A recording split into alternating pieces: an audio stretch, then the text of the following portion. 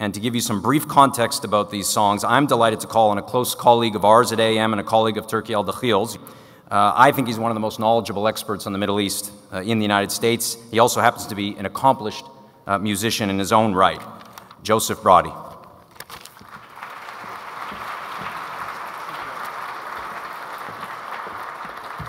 Thank you very much, uh, Aaron and America Abroad, for this wonderful event. And thank you, Turki Dakhil, uh, a man who has inspired many, and I'm just one of them. Um, the first song we will hear tonight is a tribute to the oneness of God and to the messenger who brought that message to the Arabian Peninsula and then to the rest of the world and that is the Prophet Muhammad, as the Muslims say, peace and blessings be upon him, sallallahu alaihi wasallam. This song was sung not about but to the Prophet 1400 years ago, at the dawn of, of Islamic history, upon his historic arrival from his hometown of Mecca to the mystic city of Medina. And I'm going to, uh, it's called Tala al Badru Alayna. I'm going to share with you one verse, first in Arabic and then in English. أيها المبعوث فينا جئت بالأمر المطاع جئت شرفت المدينة مرحبا Ya da'. That means, O oh, our emissary now amongst us, who comes to us with instructions to be heeded. You have brought this city nobility. Welcome to you who call us to the right path.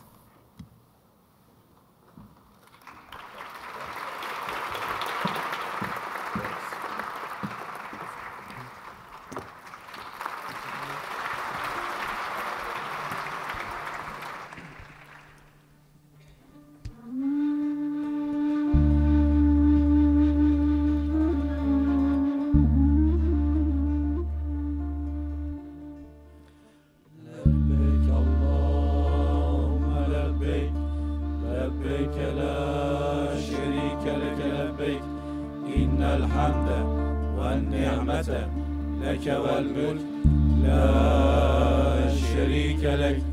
لبيك اللهم لبيك لبيك لا شريك لك. لبيك إن الحمد والنعمة لك والملك لا شريك لك.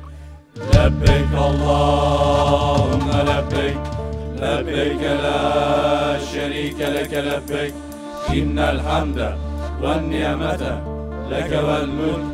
لا شريك لك. صلاه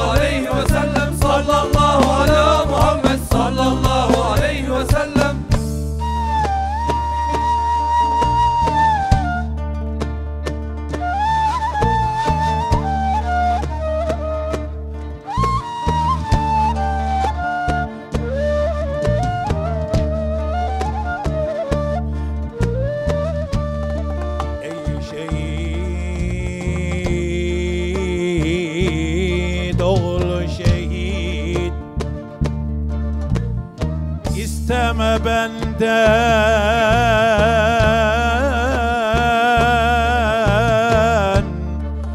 makber.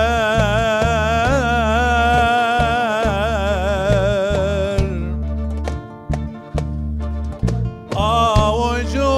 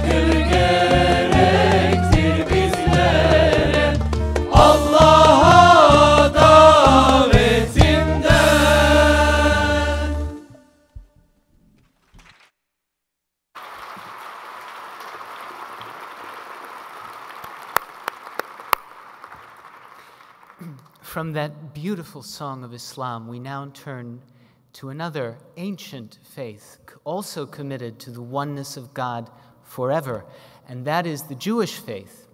And this is a song that is sung on Sabbath tables the Jewish Sabbath around the world, year in, year out. Uh, and it is called Ya Ribon Alam. And I'll bet Arabic speakers in the audience are going to understand every word of the couplet I'm about to recite. Ya Ribon Alam we'almaya, Ant hu malka melech malchaya. That means, Ya Rabb al-Alam wal-Alamin, Ant al-Malik, Malik al-Muluk. And this is the, a melody that comes from ancient Babylon, from the land of modern Iraq, that has been sung ever since. Ya Ribon Alam.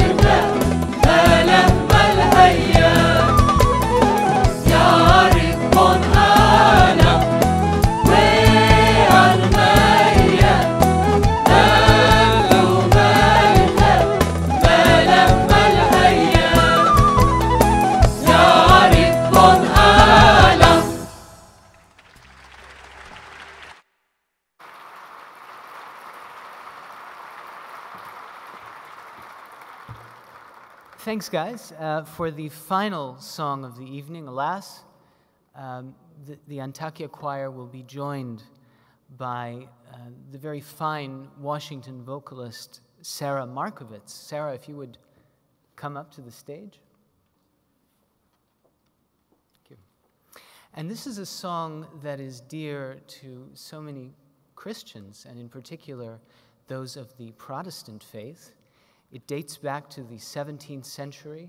Its words uh, stem from the book of Psalms, added to which are the uh, notion of the uh, Father, Son, and the Holy Ghost. Uh, and it inspired Western music. Bach used it in a cantata, uh, and it has impacted the music we hear ever since. And it is called Praise Be the Lord the Almighty.